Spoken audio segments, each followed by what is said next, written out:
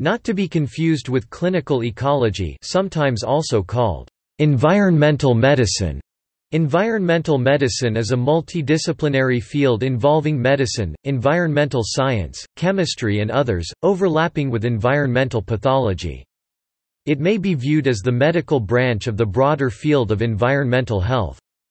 The scope of this field involves studying the interactions between environment and human health, and the role of the environment in causing or mediating disease.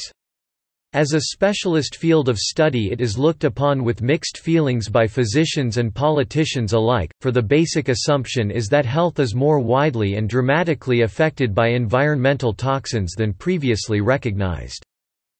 Environmental factors in the causation of environmental diseases can be classified into physical chemical biological social including psychological and culture variables ergonomic safety any combination of the above in the United States, the American College of Occupational and Environmental Medicine oversees board certification of physicians in environmental and occupational medicine.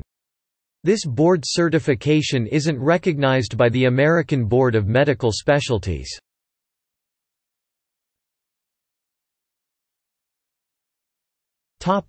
Current focuses of environmental medicine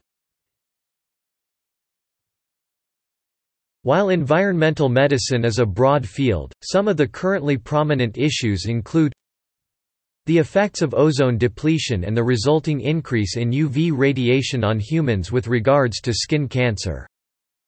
The effects of nuclear accidents or the effects of a terrorist dirty bomb attack and the resulting effects of radioactive material and radiation on humans.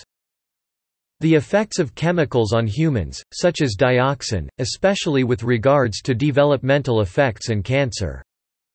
Radon gas exposure in individuals' homes. Air and water pollution on the health of individuals.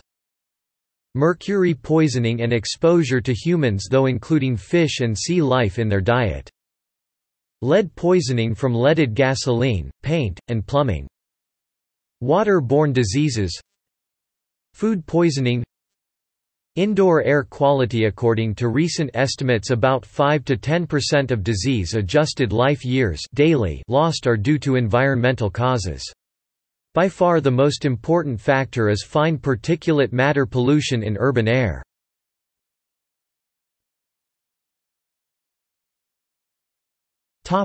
Scope of environmental medicine Environmental medicine is concerned primarily with prevention. Food-borne infections or infections that are water-borne e.g. cholera and gastroenteritis caused by norovirus or campylobacteria are typical concerns of environmental medicine, but some opinions in the fields of microbiology hold that the viruses, bacteria and fungi that they study are not within the scope of environmental medicine if the spread of infection is directly from human to human. Much of epidemiology, which studies patterns of disease and injury, is not within the scope of environmental medicine, but e.g. air pollution epidemiology is a highly active branch of environmental health and environmental medicine. Any disease with a large genetic component usually falls outside the scope of environmental medicine, but in diseases like asthma or allergies both environmental and genetic approaches are needed.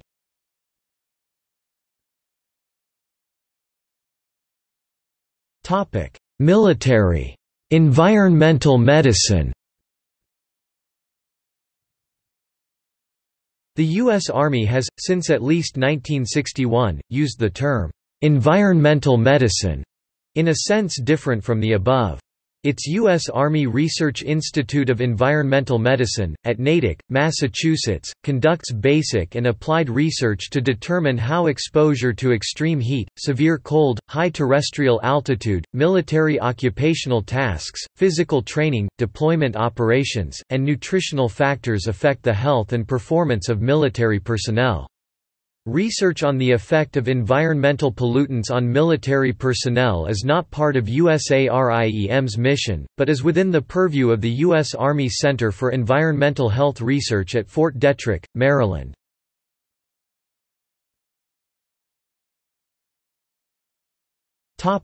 See also Environmental disease Environmental health Multiple chemical sensitivity